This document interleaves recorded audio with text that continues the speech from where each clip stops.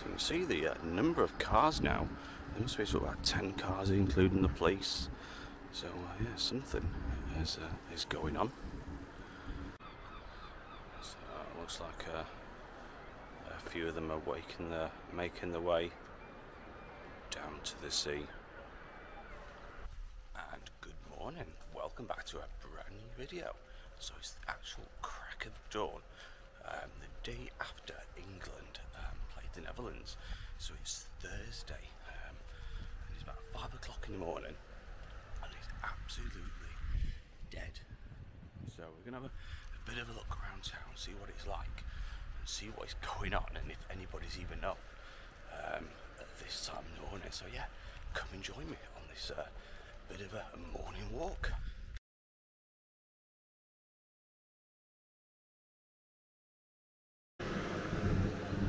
So I've been down this route before, and um, if you remember the other videos I've done very early in the morning, the only people that are up is uh, the cleaners, and uh, I just want to say they do a fantastic job.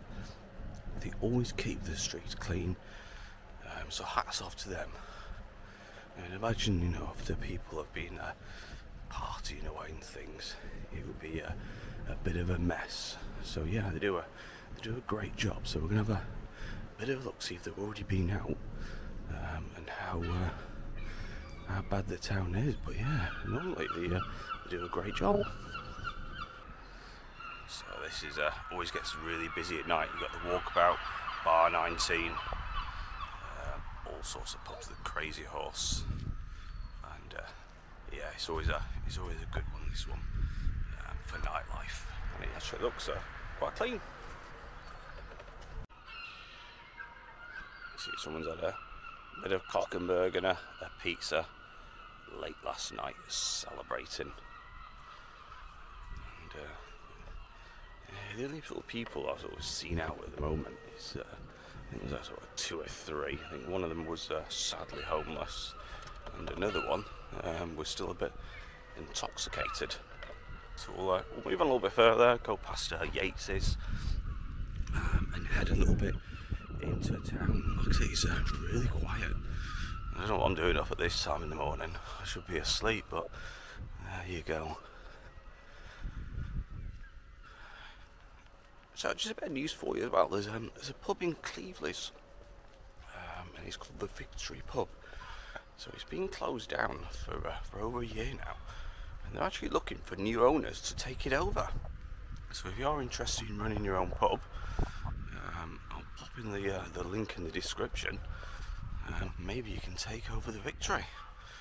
I'm not too sure what the criteria is, but yeah, if you fancy having a go running your own pub, and it's a great little pub um, in Cleveleys, uh, have a look in the description, and uh,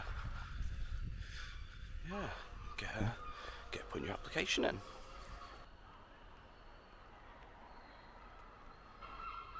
We've got Santander over there getting uh, another revamp. I think they've had uh, two or three over the past few years. So it's like they were getting a, another revamp. And uh, a bit of a story actually. I popped over to um, to B and M's um, last night.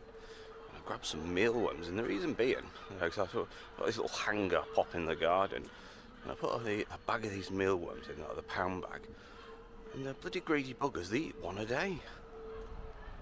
So I ended up getting uh, a huge, great bag of, uh, of mealworms for the birds. Yeah, they're, greedy little things, but I think it's uh, got breeding time, so you don't mind that. And how quiet is town. You see there's a, not a soul around. You see the uh, iconic tower in the distance there. And uh, just come back down to uh, down to the street here, and you can see there's uh, there's nobody around. The town, to be fair, I haven't seen any cleans at the moment, but it doesn't look too bad for a for a busy night last night. And uh, yeah, I think some of the schools are broke up, so uh, town in a few hours is going to be uh, is going to be heaving again. So I just briefly popped onto uh, the very uh, beginning of Central Drive. for a, a morning walk, and uh, you see everything's uh, very quiet this morning. We got a, uh, a single police car probably uh, doing a bit of a an inspection. He's slowing down. You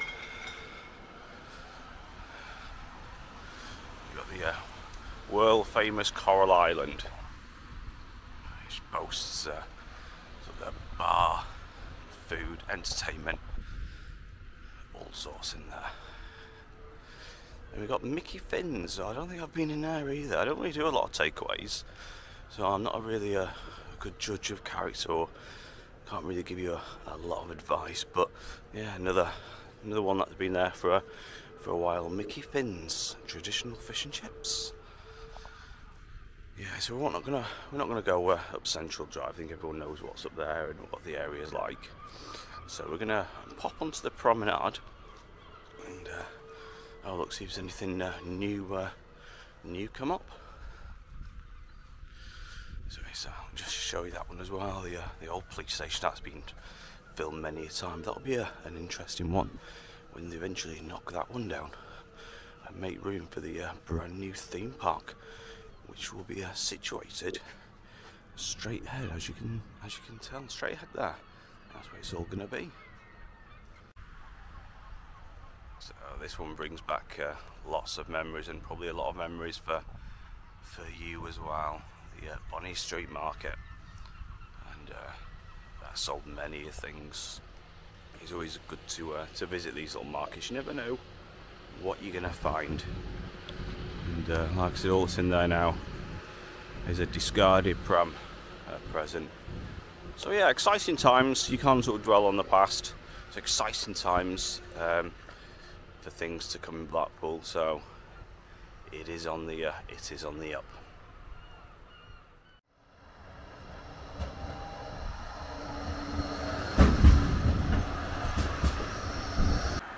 Uh, it looks like possibly something is going on over there. We've got the uh, the police, three three cars. They do the uh, the lifeboats. So, not too sure what is yours? About sort of six o'clock in the morning. Can't see anybody anybody sort injured or anything, but yeah, they're all uh, they're all looking out to sea. So there's a there's a guy on the uh, the beach and he's using a metal detector. So I think that belongs to the uh, the uh, the police. They're searching for uh, for something. And uh, I'll just show you the around a little bit more. Yeah, so something is, uh, is certainly going on. I don't think he's anything to do with the uh, the sort of the police or the coast guard. He's probably just a, a normal metal detector, looking for that uh, for that buried treasure. And uh, fingers crossed, he, uh, finds something uh, of interest.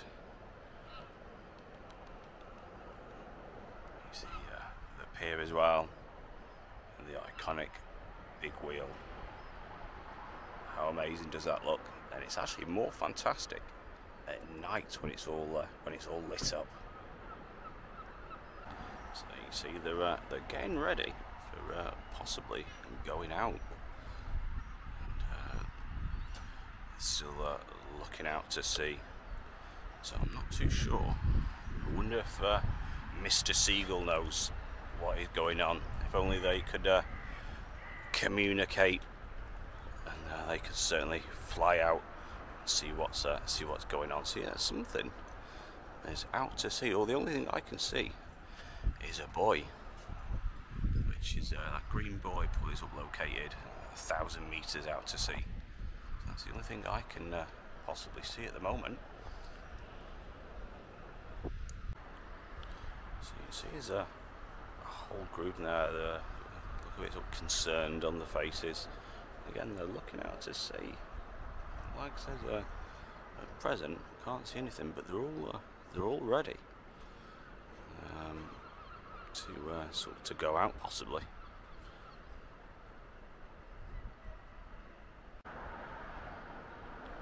So it looks like now they're uh, they're combing the beach. So uh, they are concerned. So it's not like a sort of person, but they're, they're combing the beach for something.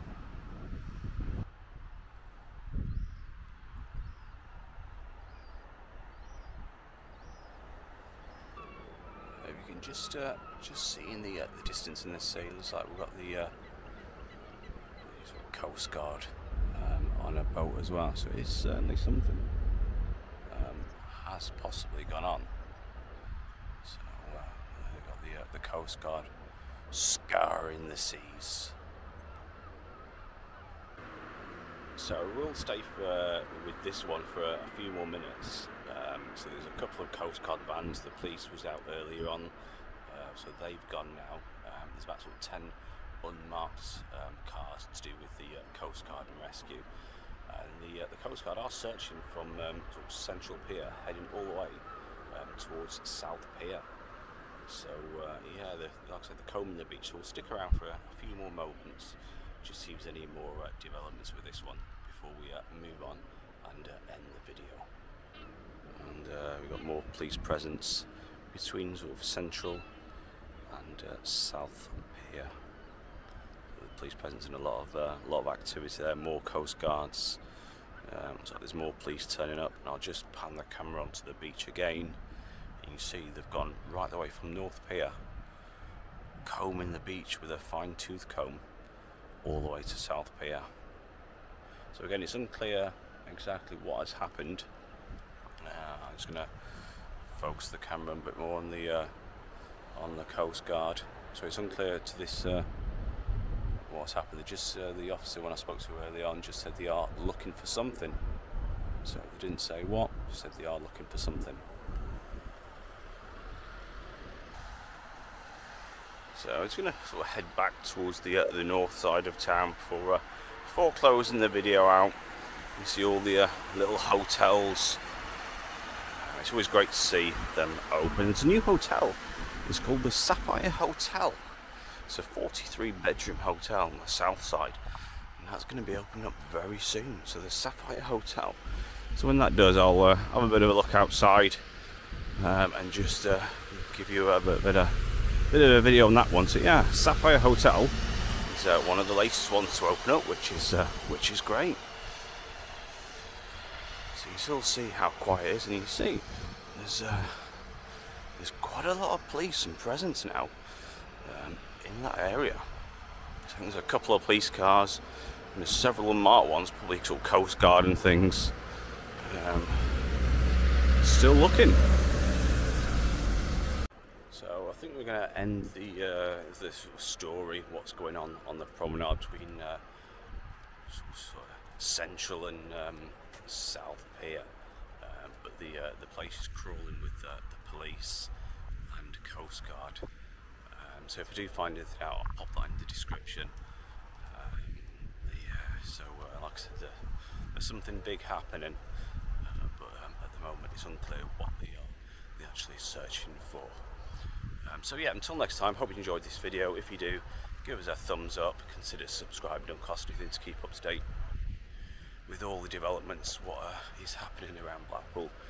And uh, yeah, until next time, take care of yourselves, and it's a, it's a bye from me.